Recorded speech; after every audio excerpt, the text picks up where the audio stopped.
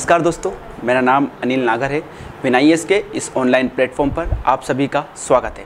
आज से हम इस ऑनलाइन प्लेटफॉर्म पर करंट अफेयर्स की एक नई सीरीज़ की शुरुआत करने जा रहे हैं, जिस पर हम प्रतिदिन महत्वपूर्ण करंट अफेयर्स पर चर्चा करेंगे और उन करंट अफेयर्स के संबंधित जो भी फैक्ट रहेंगे डेटा रहेंगे, वो आप, मैं आप सभी के समक्ष बताऊँगा और आप सभी को उस उस बारे में अवगत कराऊँगा, उस करंट अफेयर्स के बारे में जो हमारी प्रतियोगी परीक्षाओं के लिए काफ़ी महत्वपूर्ण साबित होगा। और अंत में मैं आपको करंट अफेयर्स से संबंधित एक क्वेश्चन भी दूँगा जिसका जवाब आपको कमेंट बॉक्स में हमको बताना है। सो so, आज के करंट अफेयर्स पर हम चर्चा करते हैं। Let's start. आज का हमारा पहला क्वेश्चन है कि recently who has been appointed as joint director of CBI हाल ही में सीबीआई के संयुक्त निदेशक के रूप में किसे नियुक्त किया गया है? सो हमारे चार ऑप्शन है, जिनमें से सही उत्तर इसका अनुराग कुमार है। अनुराग कुमार, जो कि पूर्व आईपीएस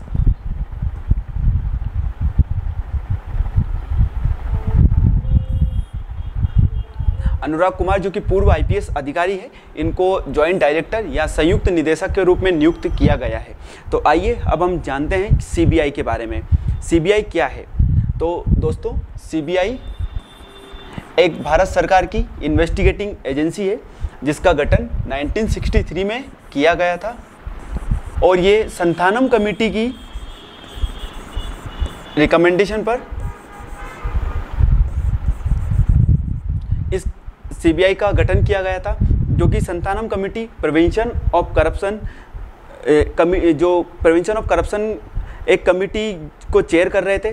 1962 से 1964 तक इस कमेटी ने अपना कार्य किया था और इस कमेटी ने करप्शन को कम करने के लिए सीबीआई जैसी संस्था को रिकमेंड किया था। उसी के दौरान 1963 में सीबीआई का गठन किया गया था। सीबीआई को power Delhi police establishment act 1946 से मिलती है। इस एक्ट के तहत सीबीआई कार्य करती है। और सीबीआई के डायरेक्टर अभी वर्तमान में पूर्व आईपीएस अधिकारी प्रवीण सूद है।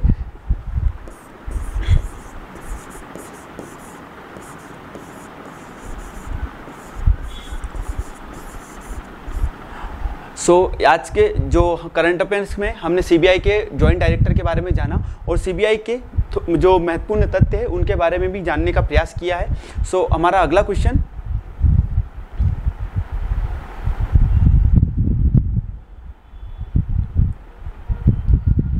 Recently, which of the following countries has officially declared the snow leopard as its national symbol? हाल ही में निम्नलिखित में से किस देश ने आधिकारिक तौर पर हिम तेंदुओं को अपना राष्ट्रीय प्रतीक घोषित किया है? सो so, इसका इसमें चार ऑप्शन है जैसे कि उज्बेकिस्तान कजाकिस्तान मंगोलिया किर्गिस्तान। इसका सही आंसर है किर्गिस्तान। किर्गिस्तान एक सेंट्रल एशियन कंट्री है जिसने हिम तेंदुआ या स्नो लेपर्ड को अपना नेशनल सिंबल घोषित किया है। तो किर्गिस्तान किर्गिस्तान एक सेंट्रल एशियन कंट्री है, जो कि ताजिकिस्तान के ऊपर है, जो चाइना से अपनी बॉर्डर शेयर करती है और किर्गिस्तान की राजधानी बिस्केक है।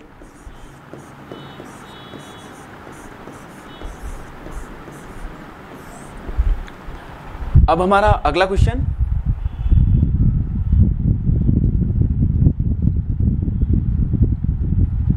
Recently Aatmanirbhar Bharat Utsav 2024 has been inaugurated in which of the following cities हाल ही में आत्मनिर्भर भारत उत्सव 2024 का उद्घाटन निम्नलिखित में से किस शहर में किया गया? सो so, इसके चार ऑप्शंस में न्यू दिल्ली अहमदाबाद हैदराबाद एंड भोपाल है। परंतु इसका सही आंसर है न्यू दिल्ली न्यू दिल्ली में आत्मनिर्भर भारत उत्सव का आयोजन किया गया और न्यू दिल्ली में भी ये आयोजन इस उत्सव का आयोजन भारत मंडपम में किया गया है।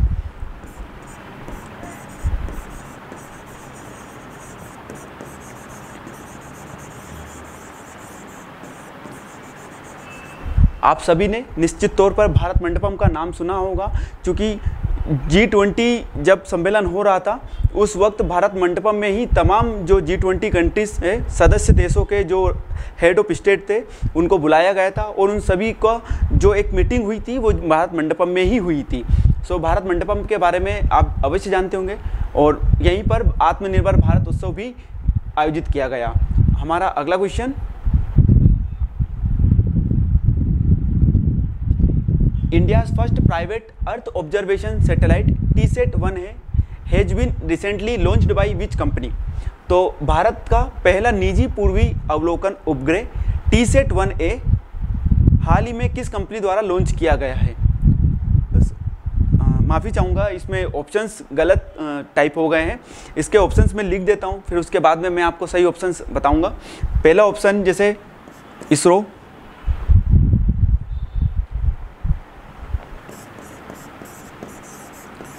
स्पेस एक्स तीसरा option space India Limited.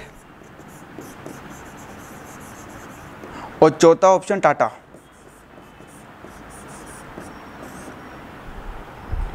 So so, दोस्तों इसका पहला सही उत्तर है टाटा। टाटा के द्वारा ही भारत का पहला private earth observation satellite launch किया गया है। अर्थ ऑब्जर्वेशन सैटेलाइट को ही रिमोट सेंसिंग सैटेलाइट के नाम से भी जाना जाता है। रिमोट सेंसिंग सैटेलाइट वो सैटेलाइट होती है जो कि अर्थ के पोलार ऑर्बिट में मूव करती है जो कि नॉर्थ से साउथ की तरफ़ मूव करती है। पोलार सैटेलाइट और जो अर्थ ऑब्जर्वेशन सैटेलाइट है बेसिकली इसका काम अर्थ को ऑब्ज़र्व करना है। अर्थ पर जितने भी एटमोस्फेरिक फिनोमिना है या इवेंट हो रहे हैं उनके बारे में जानकारी इकट्ठा करना है और उन जानकारी को किसी भी एजेंसी स्पेस एजेंसी को प्रोवाइड कराना है ताकि वो जानकारी देश के विकास आर्थिक सामाजिक विकास के लिए उपयोग में लाया जा सके। सो so, हमारा अगला क्वेश्चन होगा।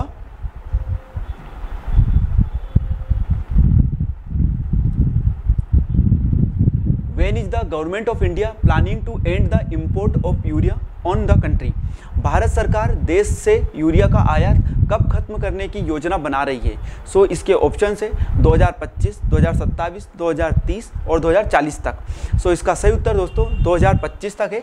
भारत सरकार 2025 तक यूरिया को यूरिया के इंपोर्ट को खत्म करने की प्लानिंग कर रही है।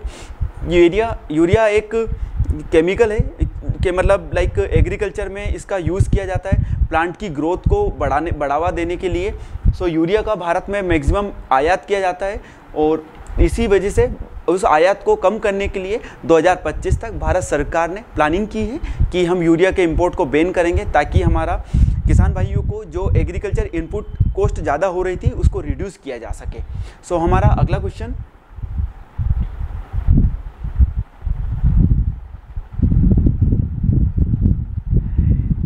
according to a recent report released by the geographical indication registry which state is the top at the terms of GI tagging भौगोलिक संकेत रजिस्ट्री द्वारा हाल ही में जारी एक रिपोर्ट के अनुसार कौन सा राज्य सबसे आगे है? तो जियोग्राफिकल इंडिकेशन रजिस्ट्री के द्वारा एक रिपोर्ट रिलीज़ की गई है। उस रिपोर्ट में बताया गया है कि कौन से स्टेट के पास सबसे ज़्यादा जीआई टैग है। तो इसका सही आंसर होगा उत्तर प्रदेश। उत्तर प्रदेश को भारत में सबसे ज़्यादा जी टैग दिए गए हैं। और मैं आपको बताना चाहता हूँ कि जी टैग एक ऐसी प्रोडक्ट को दिया जाता है जो कि या तो नेचुरल होता है या मैनमेड होता है या एग्रीकल्चर प्रोडक्ट से संबंधित होता है, ताकि उस उस प्रोडक्ट की उस जगह से पहचान रहे और वो प्रोडक्ट उसी जगह के नाम से जाना जाए, इसीलिए जीआई टैग दिया जाता है और उसको एक प्रकार से एक एक्सक्लूसिव मार्केट में आइडेंटिटी मिलती है ताकि उसका प्रोडक्शन ज़्यादा हो प्रोडक्शन ज़्यादा होने के साथ साथ उसकी बिक्री भी ज़्यादा हो और जो लोग उनको प्रमोट कर रहे हैं, उनको बनाने का कार्य कर रहे हैं, उनकी भी इनकम ज़्यादा हो। इसलिए जी टैग दिया जाता है और जी टैग में सबसे ज़्यादा उत्तर प्रदेश को इस रिपोर्ट में नंबर वन दर्जा दिया गया है। हमारा अगला question when is world homeopathy day is celebrated every year हर साल विश्व होम्योपैथी दिवस, हर साल विश्व होम्योपैथी दिवस कब मनाया जाता है? तो ऑप्शंस में हमारे पास सात अप्रैल, आठ अप्रैल, नौ अप्रैल एंड दस अप्रैल। दोस्तों, इसका सही आंसर है दस अप्रैल। दस अप्रैल को वर्ल्ड होम्योपैथी डे मनाया जाता है। वर्ल्ड होम्योपैथी डे होम्योपैथी को प्रमोट करने के लिए और उसके बारे में अवेयरनेस को जनरेट करने के लिए इसको सेलिब्रेट किया जाता है। अब मैं आपको बताना चाहता हूँ होम्योपैथी क्या है। होम्योपैथी एक ट्रेडिशनल मेडिसिन सिस्टम है, जिसके जनक सेम्यूअल हेनीमेन को बताया जाता है। Samuel हेनीमेन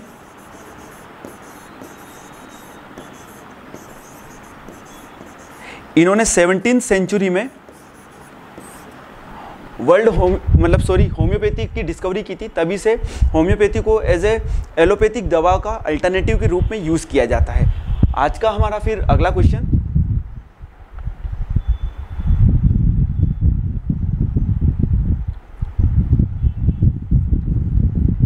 who has been recently appointed as the chairman of the international narcotics control board हाल ही में अंतर्राष्ट्रीय मादक द्रव्य नियंत्रण बोर्ड के अध्यक्ष के रूप में किसे नियुक्त किया गया है? सो so, इसमें ऑप्शन है जगजीत जगजीत पावड़िया सूनम सिंह राधिका सिंह निर्मला सिंह। इसमें चेयरमैन नहीं आएगा। माफ़ी चाहूँगा मैं आपसे। ये प्रिंटिंग मिस्टेक हुई है। इस इंटरनेशनल नार्कोटिक्स कंट्रोल बोर्ड में भारत की तरफ़ से तीसरी बार नवनिर्वाचित जो रिप्रेजेंटेटिव है भारत का वो है जगजीत पावड़िया। जगजीत पावड़िया एक महिला है जिनको narcotics international narcotics control bureau में वापस तीसरी तीसरे टर्म निकली, टर्म के लिए इन्हें अपॉइंट किया गया है। अब मैं आपको बताना चाहता हूँ कि इंटरनेशनल नारकोटिक्स कंट्रोल बोर्ड है क्या। दोस्तों, इंटरनेशनल नारकोटिक्स कंट्रोल बोर्ड एक autonomous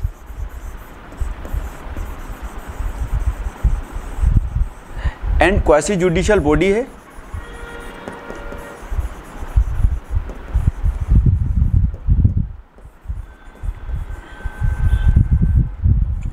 जिसका काम यूनाइटेड नेशन का जो कन्वेंशन है drugs United Nation convention on drugs prevention मैं पूरा कन्वेंशन का नाम याद नहीं कर पा रहा हूँ। तो उस कन्वेंशन को इम्प्लीमेंट करने के लिए narcotics control board international narcotics control board की स्थापना की गई थी। और उसी नारकोटिक्स कंट्रोल बोर्ड में भारत के जगजीत पावड़े को रिप्रेजेंटेटिव के तौर पर तीसरी टर्म के लिए इलेक्ट किया गया है। आज का हमारा अगला question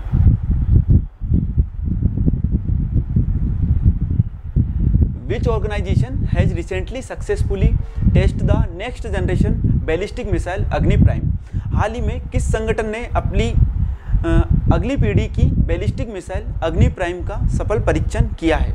सो so, इसमें चार ऑप्शन है ISRO DRDO HAL and none of this so दोस्तों बैलिस्टिक मिसाइल अग्नि प्राइम का हाल ही में सफल परीक्षण डीआरडीओ के द्वारा किया गया है। डीआरडीओ के द्वारा किया गया है। सो मैं आप आपको बैलिस्टिक मिसाइल क्या होती है और डीआरडीओ के बारे में संक्षिप्त जानकारी देता हूँ। सबसे पहले हम जानते हैं कि बैलिस्टिक मिसाइल क्या होती है। दोस्तों, दो प्रकार की मिसाइल अभी वर्किंग में है, डिफेंस में। एक का नाम है बैलिस्टिक मिसाइल, दूसरा है cruise missile. So ballistic missile वो मिसाइल होती है जो जहाँ से जैसे किसी एक पॉइंट से, धरती के किसी एक पॉइंट से वो लॉन्च हुई और वहाँ से लॉन्च होने के बाद में वो अपर एटमोसफियर में जाती है और अपने टारगेट को धरती पर ही हिट करती है। सो so, ये बैलिस्टिक मिसाइल होती है। ये एक पैराबोलिक शेप में मूव करती है और वहीं क्रूज़ मिसाइल होती है। वो धरती से थोड़ा सा थोड़ा सा ऊपर उठकर टारगेट को हिट करती है। ये धरती से ज़्यादा ऊपर नहीं जाती है। क्रूज़ मिसाइल जो होती है। सो क्रूज़ मिसाइल ऐसे मूव करती है जो कि एटमोसफेयर से मतलब लाइक अर्थ से थोड़ा सा ऊपर जाती है। सो बैलिस्टिक मिसाइल ये होती है क्रूज मिसाइल ये होती है। So ballistic missile Agni Prime का सफल परीक्षण डीआरडीओ के द्वारा किया गया है। इसका सही उत्तर डीआरडीओ है। अब डीआरडीओ के बारे में मैं आपको बताना चाहूँगा कि DRDO defence research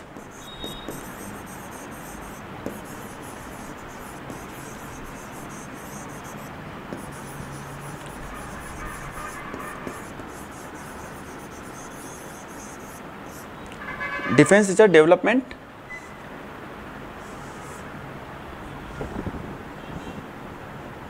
organisation इस ऑर्गेनाइजेशन की स्थापना 1958 में की गई थी और इसका हेडक्वार्टर न्यू दिल्ली में है। दोस्तों जो राज्य सेवा प्रारंभिक परीक्षा 2024 के लिए तैयारी कर रहे हैं, उनके लिए यूनिट सेवन में एक टॉपिक है कि इम्पोर्टेंट इंस्टीट्यूशन जो साइंस से संबंधित है और स्पेस टेक्नोलॉजी एक टॉपिक भी है। उसी टॉपिक के अंतर्गत एक ऑर्गेनाइजेशन जो कि बहुत सारी ऑर्गेनाइजेशन हमको पढ़ना है उसमें से एक महत्वपूर्ण ऑर्गेनाइजेशन होती है डीआरडीओ डीआरडीओ के बारे में मैंने आपको बताया है कि 1958 में इसको कॉन्स्टिट्यूट किया गया था और इसका हेडक्वार्टर न्यू दिल्ली में है। इसका मुख्य काम डिफेंस सेक्टर में जो भी इंफ्रास्ट्रक्चर है जो भी डिफेंस इक्विपमेंट है उनको बनाने का कार्य करना है। सो so, डी का ये बेसिक फ़ंक्शन है। आज का हमारा अगला question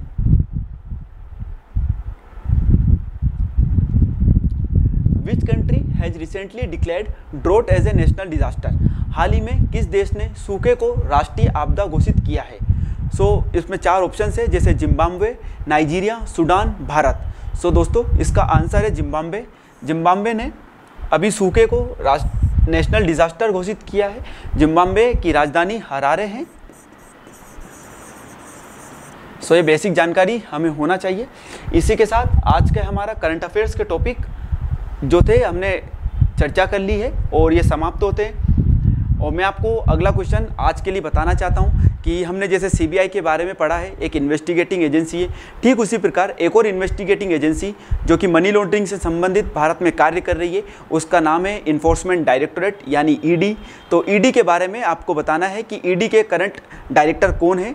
और ईडी किस एक्ट के तहत काम करती है? ये दोनों ही क्वेश्चन मुझे लगता है कि मध्य प्रदेश लोक सेवा आयोग द्वारा आयोजित राज्य सेवा प्रारंभिक परीक्षा, राज्य सेवा मुख्य परीक्षा में महत्वपूर्ण हो सकते हैं।